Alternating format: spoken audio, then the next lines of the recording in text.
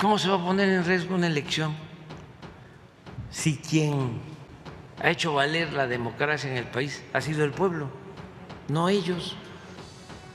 Los que ponen en riesgo la elección son ellos siempre, no son ellos los que permiten el relleno de urnas y la falsificación de actas. No son las autoridades electorales las que se roban los paquetes, no son las autoridades electorales las que permiten la compra del voto.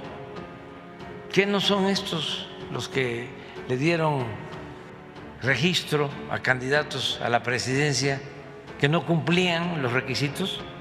Que se vayan este, a engañar a otra parte.